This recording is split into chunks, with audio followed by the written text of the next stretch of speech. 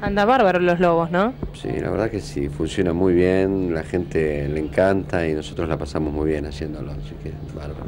¿Quién se engancha más, las mujeres o los hombres? ¿En el teatro o específicamente en los lobos? Yo creo que generalmente en el teatro este, suele pasar, yo no sé si ahora pasa lo mismo, pero suele pasar que la mujer insiste para ir al teatro, el hombre va y si le gusta la obra, este, se vuelve a enamorar de su mujer, la pasan bárbaro. Si no le gusta, se pelean o se duerme.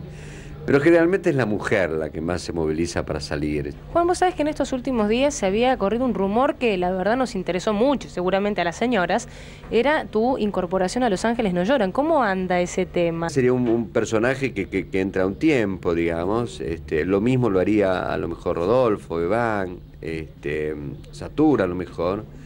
Así que se da bárbaro. Este, estamos, este, yo estoy dispuesto, hemos tenido una conversación artística, la tenemos clarísima.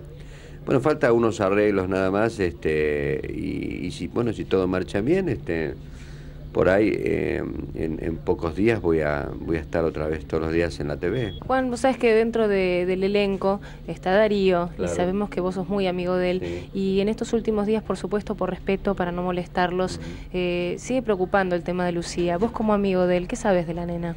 que está evolucionando bien Lucía y que, y que están, está muy bien cuidada, muy bien tratada, muy bien contenida y que, que está bien, está transitando el momento que le toca de la manera que le toca vivir en esta vida, así apareció Lucía y está bien, se está, está poniendo bien, está bien, va a estar muy bien y bueno, estamos ahí todos.